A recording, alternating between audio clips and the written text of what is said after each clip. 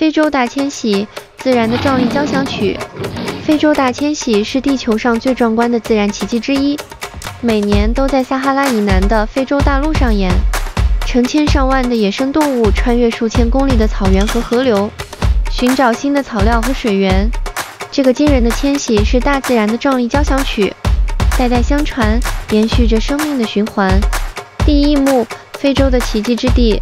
非洲大迁徙的舞台位于撒哈拉沙漠以南的大草原地带，包括坦桑尼亚的塞伦盖蒂、肯尼亚的马赛马拉、博茨瓦纳的奥卡万戈三角洲以及赞比亚和津巴布韦的一些国家公园。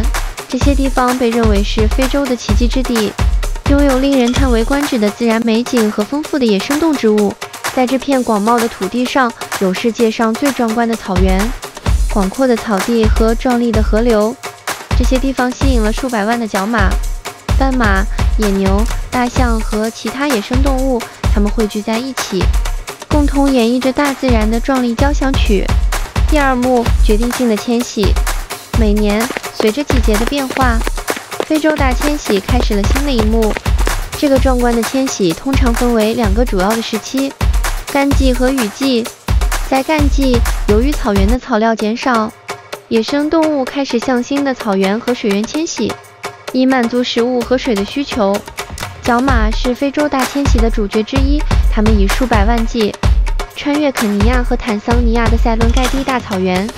斑马也是壮观的迁徙者，它们和角马一起穿越大陆，组成了令人难以置信的动态景观。第三幕：生死交响曲。非洲大迁徙是一场生死交响曲。野生动物必须面对无数的挑战和危险，掠食者潜伏在附近，如狮子、豹子和鳄鱼，它们等待着迁徙中的猎物，寻找机会抓住弱小的个体。河流也成为生死攸关的障碍，野生动物必须穿越鳄鱼充斥的水域，有时甚至会发生悲剧。但这一切都是生命循环的一部分，死亡和生命的出生交替上演。第四幕：人类的角色。虽然非洲大迁徙是自然界的壮丽表演，但人类也扮演着重要的角色。野生动物旅游已经成为非洲经济的一个关键部分，吸引了数以百万计的游客前来观赏这奇观，为当地经济带来了重要的收入。然而，与此同时，人类的活动也对非洲大迁徙造成了威胁。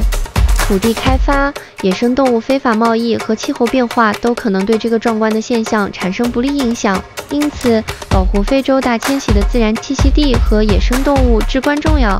这需要全球合作和可持续的保护措施。结局：永恒的壮丽。非洲大迁徙是大自然的壮丽交响曲，是地球上最引人入胜的奇迹之一。它提醒我们生命的坚韧和顽强。以及自然界的不可思议之美，它也教导我们，保护地球上的野生动植物和生态系统至关重要，以确保这一壮观的奇迹代代相传。